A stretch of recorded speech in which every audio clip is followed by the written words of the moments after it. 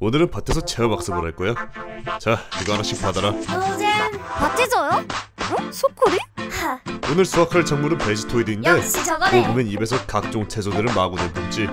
그래서 한 사람이 뽑으면 다른 사람이 대기하고 있다가 소쿠리로 채소를 받아야 해. 준비됐어?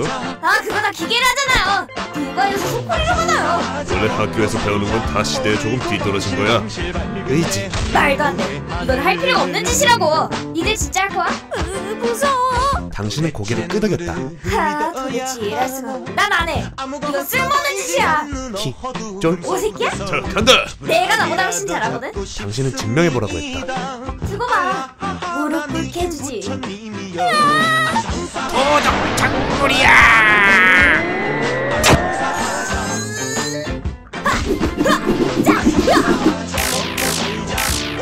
아차, 야 장난감이야? 당신은 엄지 척.